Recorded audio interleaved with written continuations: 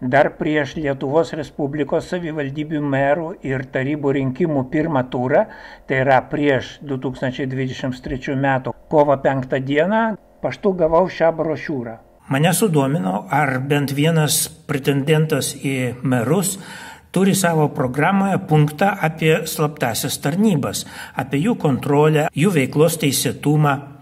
Vien tik tai, vien tik tai liberalų sąjūdžio atstovės Eglės Radvilės programoje radau punktą apie civilinės saugos tarnybas. Tame punkte numatoma, jog piliečiai jaučiasi saugus, išvystyta civilinės saugos infrastruktūra, Vilniečiai supažindinti su miesto saugumo protokolais, tarnybos yra visuomet pasiruošusios atlikti savo pareigą.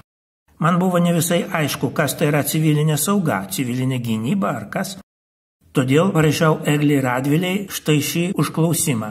Labadiena, kandidatės į Vilniaus merus Eglės Radvilės programoje yra punktas apie civilinę saugą, jos tarnybas. Kokios tarnybos turimos omenyje? VRM, Vasario 23 atsakė Rūta Karvelytė, matomai padėjėja. Labadiena, Jūriai. Dėkojame, kad neliekate abejingas ir domitės. Eglė Radvilė mintyje turi visas Vilniuje veikiančias tarnybas - tiek VRM, tiek civilinės, savivaldybės, tiek krašto apsaugos. Nelaimės atveju jos visos privalo koordinuotis veiksmus tarpusavėje. Ta pačia diena vasario 23 atsakiau. Už atsakymą ačiū. Problema yra ta, kad slaptosios tarnybos, Valstybės saugumo departamentas, Vidaus reikalų ministerija su Lietuvos kriminalinės policijos biuru, Krašto apsaugos ministerija su antruoju operatyviniu tarnybų departamentu ir visos kitos, turinčios slaptą agentūrą operatyviniai veiklai, vykdo neteisėtą totalų gyventojų sėkimą ir pavienių asmenų terorizavimą. Teisės sauga, skliaustose prokuratūra ir teismai, visi valdžios organai, visos partijos, visa visuomenė yra persmelkti agentūros. Slaptusios tarnybos yra aukščiau įstatymo. Teisinė valstybė neegzistuoja. Tai ne vien Rusijoje ar Kinijoje, bet ir NATO ir matomai bet kurioje kitoje valstybėje. Būdamas disidentas prie visų valdžių, aš asmeniškai savo silpnomis jėgomis daug metų kovoju prieš slaptasias tarnybas, stengdamasis demaskuoti man įkyriai prisistatančią jų agentūrą. Iliustracijai pridedu savo politinę biografiją. Mano privatumas panaikintas, gyvenu būte vienas. O tai reiškia, kad jis yra panaikintas arba bet kuriuo momentu gali būti slaptai panaikintas ir bet kurio kito. Pabrėžiu, kad visa tai daroma neteisėtai. Prokuratūra ir teismai tą automatiškai dangsto. Ar neketintų liberalų sąjūdis užsiimti principinę kovą prieš tą faktinę valstybės perversmą? Tektų netrukus paskleisti ją ir į ES ir į NATO, turiu omenyje skundų rašymą. Manęs vieno jokios institucijos savaime suprantama neklauso, tad ir aš pats visiškai beteisės, jokio apginimo niekur neturiu. Siūlau tai būtent liberalų sąjūdžiui, kadangi tik Eglės Radvilės politinėje programoje radau bent susirūpinimą slaptųjų tarnybų veikla, nors, kaip matot, nelabai adekvatų. Šioje srityje galėčiau būti liberalų sąjūdžiui naudingas. Manęs nereikia bijoti, galite mane tikrinti kaip įmanydami, Mano firma kabutėse yra tiesos sakymas. Nereikia laikyti manęs ir psichinė nesveiku. Būtent slaptosios tarnybos per savo agentūrą skleidžia šitą šmeištą apie disidentus. O gydytojai psichiatrai, visi be išimties, yra nusikaltėliai, kadangi automatiškai vykdo VSD ir policijos nurodymus. Šis mechanizmas ištobulintas šimtmečiais. Taip susidorojama su tais, su kuriais dėl jų nekaltumo neįmanoma susidoroti baudžiamosios teisės pagalba.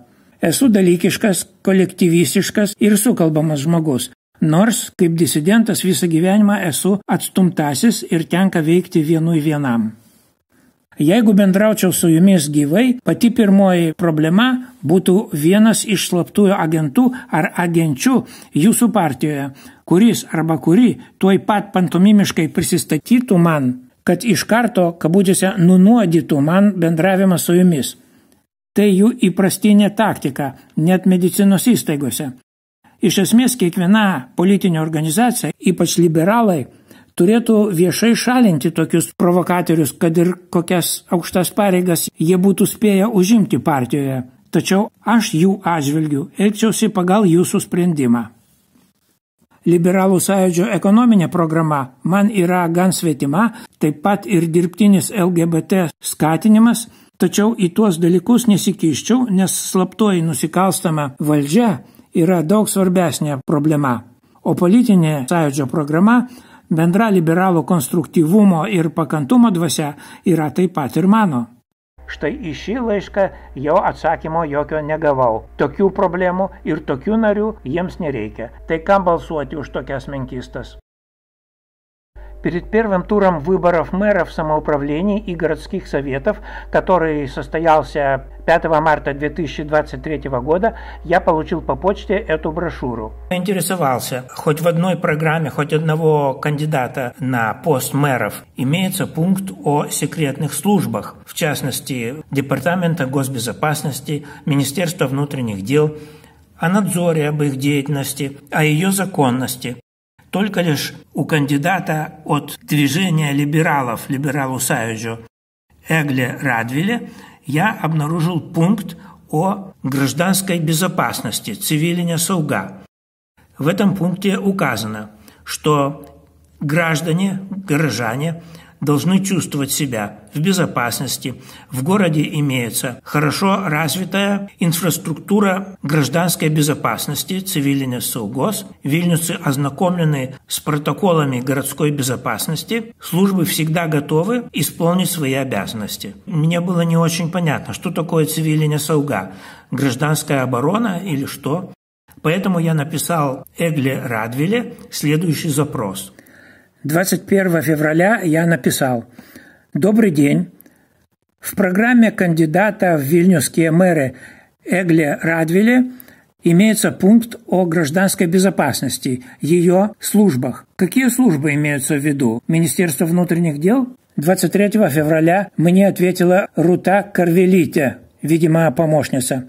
Добрый день, Юрий. Благодарим, что не остаетесь равнодушным и интересуетесь. Эгле Радвиле имеет в виду все службы, работающие в Вильнюсе, как Министерство внутренних дел, так гражданские, так самоуправление, так и охраны края, то есть Министерство обороны. В несчастных случаях они все обязаны скоординировать свои действия.